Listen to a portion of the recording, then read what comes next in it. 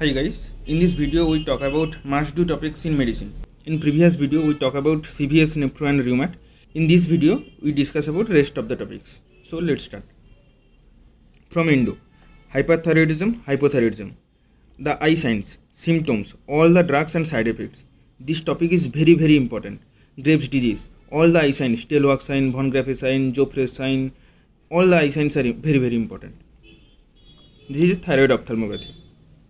Myxedema coma, Graves' disease, Hashimoto thyroiditis, again important topic, Addisonian crisis, decay, diagnosis and management.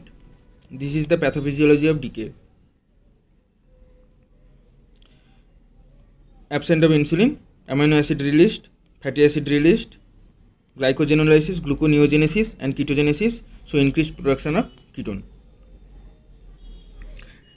Diabetes mellitus, all the drugs and side effects, very very important. This topic we discussed in pharma videos also.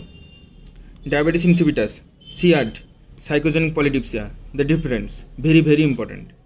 Hyponatremia, hyperkalemia, hypercalcemia, management. These three topics are extremely important. From GIT, Crohn's disease, ulcerative colitis, very very important. All the features, histopath management. This is Crohn's disease, skip lesion is present. Celiac disease, Whipple disease, again important topic. the features histopath and management.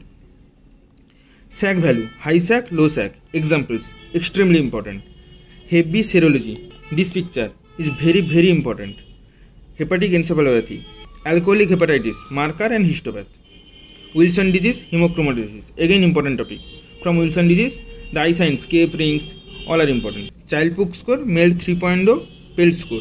All these three score are very very important. From neuro, Parkinsonism, Alzheimer's disease, and multiple sclerosis. Diagnosis, eye sense, and management. In multiple sclerosis, there is optic neuritis. NMO, neuromyelitis optica. Diagnosis, again important. GBS, Guillain-Barré syndrome, again important topic. Normal pressure hydrocephalus, the triad, important. SSP, aphasia, important. Myasthenia gravis and Lambert-Eaton syndrome, the difference and the clinical feature. Brown-Sequard syndrome, again very very important topic migraine management all the drugs and side effects extradural hemorrhage subdural hemorrhage and subarachnoid hemorrhage again important topic all the three ct scan images are very very important all the brainstem stroke syndromes we discussed in anatomy also these are very very important weber syndrome lateral medullary syndrome medial medullary syndrome lateral pontine syndrome medial pontine syndrome benedict syndrome all syndromes are important umn element features meningitis diagnosis and management important from hematology all the vasculitis, clinical features, histopath, all are important. This is a histopathology picture of polyarteritis nodosa, PAN. Anemia, iron deficiency anemia, megaloblastic anemia, hemolytic anemia, sideroblastic anemia, sickle cell anemia, all are important.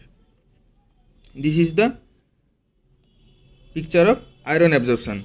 Here DMT1, here ferroprotein. These two are very very important. Hepcidin, this usually inhibits ferroprotein. This is also again important. PNH, again important topic. ITP, TTP, AML, ALL, CML, CLL, all four are very, very important. Histopath with clinical features. Blood transfusion complication, again important. From pulmonology, pneumothorax, tension pneumothorax, open pneumothorax. Especially the tension pneumothorax, management and diagnosis, X-ray, all are important. Pleural effusion, the Light's criteria, Gold's criteria in COPD, Wells criteria in pulmonary embolism. CRP65 score in pneumonia, again important topic. ARDS grading, mild, moderate, severe. Pneumonia types, diagnosis, management. From asthma, diagnosis and treatment. Hemoptysis, management, and another important topic, upper GI hemorrhage. Emphysema, asthma, bronchiectasis, histopathy and diagnosis, again important topic. These topics are important in pathology also. ILD, interstitial lung disease, UIP and NSIP, important. This is a picture of UIP, chest X-ray associations, important. Silicosis, asbestosis, again important topic. In previous video, I forgot about uh, atrial fibrillation. This is very very important topic. Atrial fibrillation, ECG, clinical features, management. This is the ECG of atrial fibrillation. Here POF is absent and irregular RROF. Dengue, malaria, scrap typhus, leptospirosis, important topic. And AIDS defining illness. Look the topics carefully, whether you cover it or not. If not, please cover it. these are extremely important in NIT PG 2023 so see you in next video tata